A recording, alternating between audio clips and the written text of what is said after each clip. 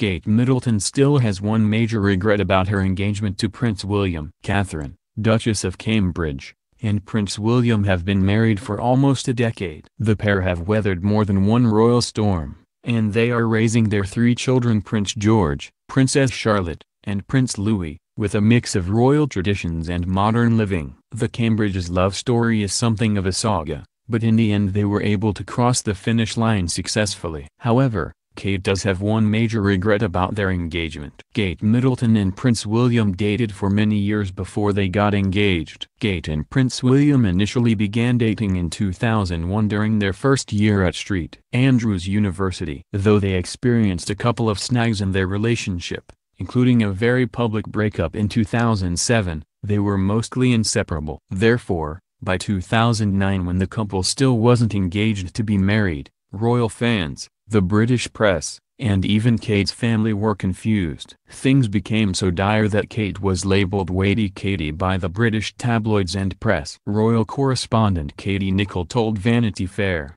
I know that it was the Christmas of 2009 when, Kate's mother, Carol was getting quite concerned. Kate was nearing 30, there was still no ring on her finger. Thankfully, the prince did pop the question in the fall of 2010 when the couple was vacationing in Kenya. This is why Prince William waited so long before proposing to Kate Middleton. Knowing his position in the British royal family and watching the demise of his parents' marriage Prince William was not willing to rush into a marriage to appease anyone. After getting back together in 2007, the young couple promised to wed only when they were ready and absolutely sure. William also wanted to complete his Royal Air Force helicopter pilot training before getting married. I suppose what none of us knew was that, she, and William had actually made a secret pact to be married way back in 2007, after they got together after their second major breakup. Nicholl explained. This was a secret pact. And we know that this is a couple who are very good at keeping secrets. So really,